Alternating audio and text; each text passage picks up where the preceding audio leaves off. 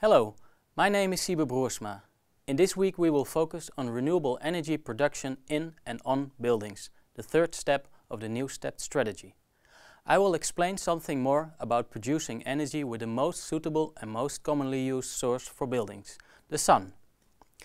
The sun is everywhere and the building skin is exposed to it. And this is where solar energy can be converted into useful energy. The sun can be used to produce electricity or heat. In general, there are three types of devices that are suitable for buildings to actively produce energy. Photovoltaic or PV cells and modules can be applied to make electricity. Solar collectors or solar thermal modules produce heat transferred to a liquid. And PV thermal or PVT modules produce electricity and heat at the same time. Yet solar collectors produce higher temperatures than the PVT modules. The application of solar energy products on buildings is often done by simply mounting solar modules or collectors on roofs. But well-integrated solutions contribute both to the sustainability as to the attractive appearance of buildings, as we will see. The efficiency of solar cells has doubled last decennium and the production costs have dropped rapidly. Therefore, payback times have dropped by a factor of 10 in the last 10 years. And since the solar industry has grown rapidly into a major industry, very affordable PV modules and many different solar projects are on the market, market of which many can be attractively integrated in buildings. And we see two examples, different type, types of fully integrated photovoltaic roof tiles and colored PV modules integrated in the facade. Solar systems cannot only be integrated in buildings in roofs and facades, but also in sunshade systems, in balconies and in windows. There are three main types of PV cells and modules that are used in the building industry to produce solar electricity.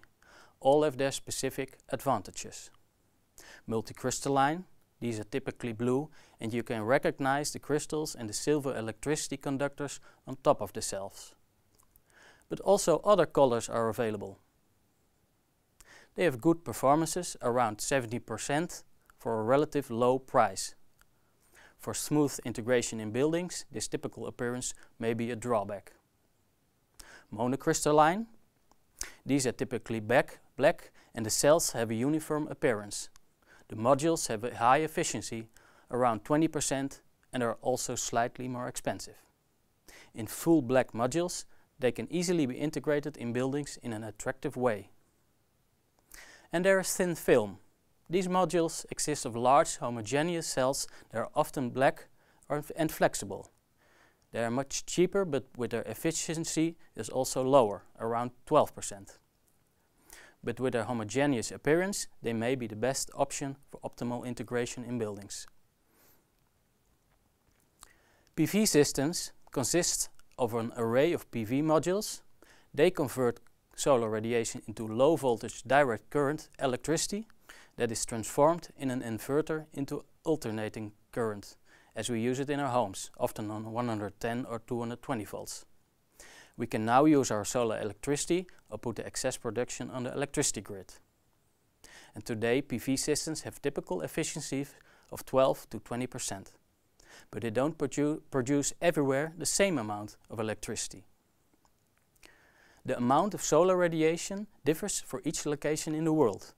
Closer to the equator there is more solar radiation and the orientation of the modules also influences the amount of solar radiation. The highest annual production of solar energy can be reached when solar projects are maximally oriented towards the sun. And this is often on pitched roofs facing the equator. So south facing in the northern hemisphere and north facing in the southern hemisphere. Or on tilted solar modules on flat roofs. The further from the equator, the larger the tilt should be for maximized production. In mid-Europe, the optimal orientation is somewhere around 40 degrees facing south. But we can easily deviate from the optimum to still have good yields. also if the modules are more east or west facing, as we can see in this last diagram. We can make a quick estimation now, for example, how much one PV module on a 45 degrees pitched southeast facing roof would annually produce in Amsterdam. We see on the solar radiation map that Amsterdam gets 3600 megajoule of solar radiation per horizontal square meter in one year, which equals 1000 kilowatt hour. We assume a system efficiency of 20% and 5% less production for southeast facing compared to south facing. But we have a 100% optimal inclination and orientation compared to 90% horizontally. In total, this 1.6 square module will produce 338 kilowatt hours of electricity in one year. Solar thermal collectors applied on buildings are generally flat plate collectors or evacuated tube collectors. The last one is able to produce higher temperatures, even above 100 degrees Celsius would be possible. Efficiencies very much depend on the desired temperatures. The higher the temperature, the lower the efficiency. Solar collectors for domestic use have efficiencies of around 25 to 35%. The heat must be used locally and has to be stored, as we can see on the right, for example, on top of the collector. They are often used to provide domestic hot water for which there is a demand all year round. But heat from solar collectors can also be used for space heating. In this scheme, the solar heat is used as a source for a heat pump system.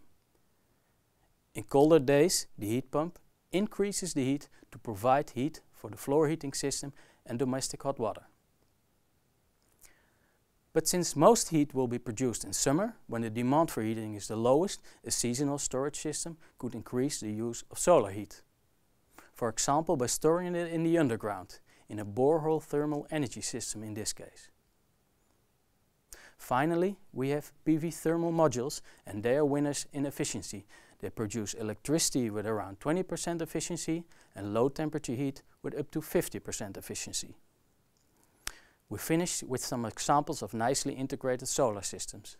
At the roof of the Energy Academy in Groningen, the Netherlands, the electricity production on the roof is maximized by directing the modules east and west on a south-facing roof. This way there is even space left for windows in the roof for daylight access and although the yield per module is around 20% less compared to optimally positioned modules, the total yield of the roof is 30% more this way. The positioning of the modules also results in a more evenly distributed energy production during the day and during the year. And therefore, more energy can be used directly without using the national grid as a buffer. In these facades you would hardly expect that the greenish tiles produce electricity and that the blue fences produce hot water.